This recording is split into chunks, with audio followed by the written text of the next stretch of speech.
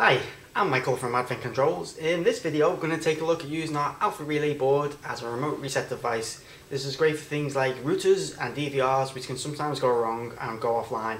Uh, normally you'd have to visit the site to reset them, but with the uh, Alpha Relay board, you can just give them a call and reset them remotely. We had a CCTV installation where the router would hang every few weeks and someone had to visit the site to toggle the power. This was an ideal situation where our Alpha Relay board could be used to save a lot of time. Here we are adding a user number to the system.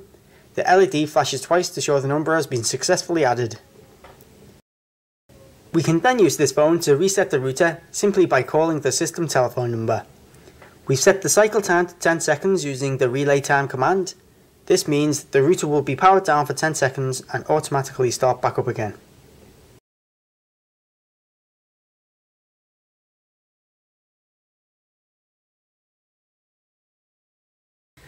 So if you want to get in touch with me, uh, please email me at michael at adventcontrols.co.uk or ring the office on 0151 728 3167.